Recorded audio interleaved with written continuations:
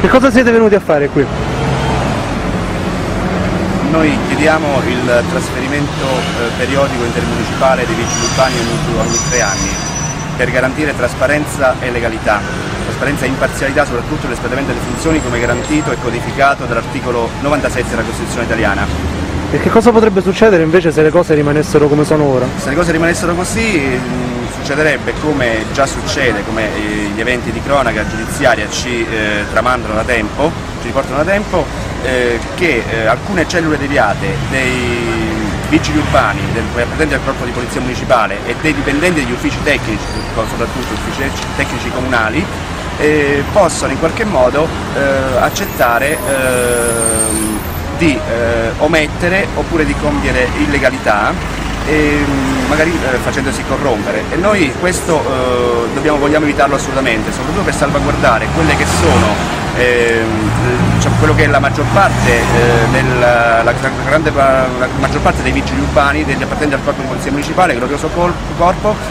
e salvaguardare l'immagine del corpo proprio contro queste piccole cellule deviate che a questo punto con una rotazione intermunicipale ogni tre anni verrebbe sicuramente debellata eh, almeno la possibilità, la tentazione a in qualche modo infrangere le leggi in materia di corruzione e concussione.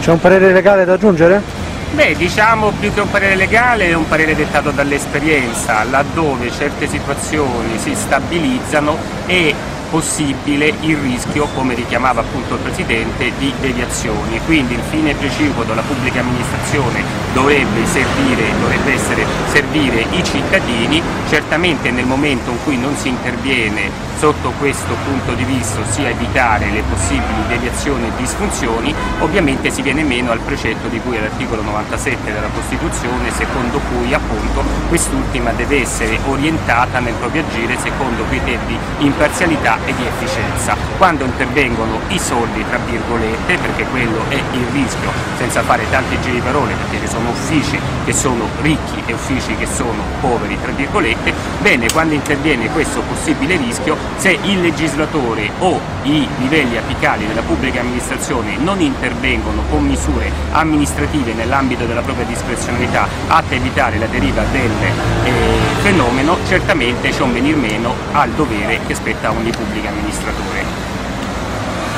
Come mai è stata scelta la sede della RAI come luogo della manifestazione? Perché questo è l'inizio di una serie di proteste, a questo punto dopo un anno che abbiamo iniziato eh, le nostre richieste, abbiamo incontrato già il vice comandante del Corpo dei Vigili Urbani che a nome del comandante Angelo Giuliani, eh, comandante generale, ha dato la sua disponibilità, eh, la sua,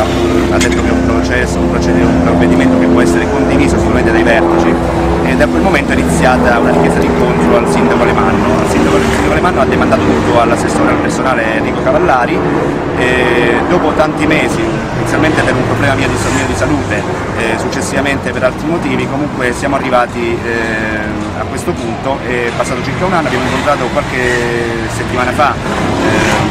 Marcello Marrocco che è il, il dottor Marrocco che è il, appunto, il capo segreteria di eh, Enrico Cavallari, l'assessore Cavallari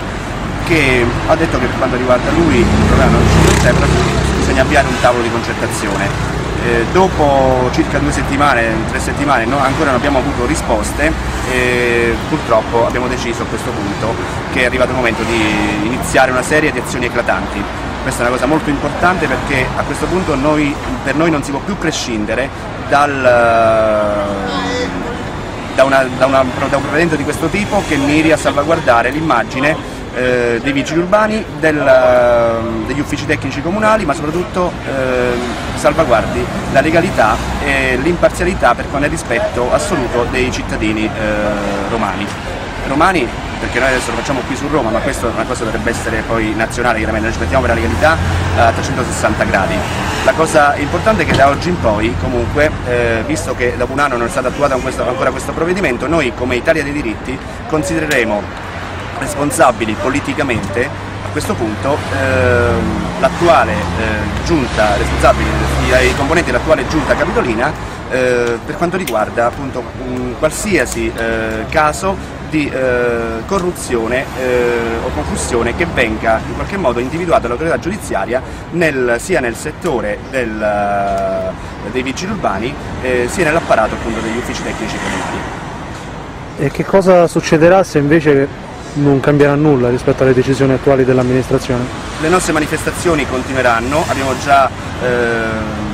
organizzato una petizione che ha già raggiunto 30.000 firme. E poi continueremo sicuramente con il nostro gruppo, il gruppo di sostenitori che è anche piuttosto nutrito, abbiamo 8.800 sostenitori fino a questo punto,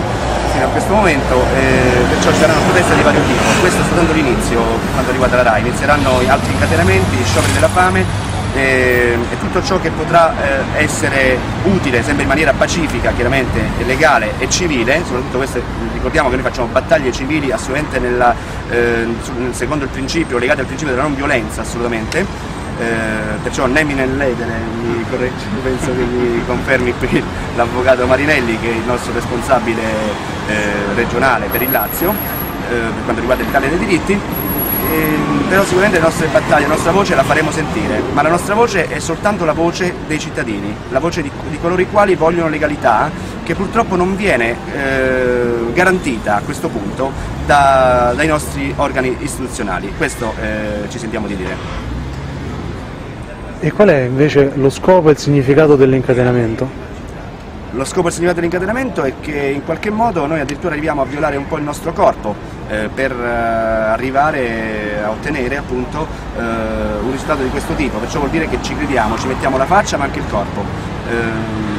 In questo modo eh, pensiamo di lanciare un messaggio forte ai cittadini che spero che ci seguiranno appunto in questa,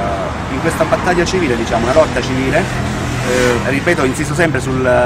sull'aggettivo civile perché è quello che è un po' legato al DNA appunto, di chi fa parte dell'Italia dei diritti.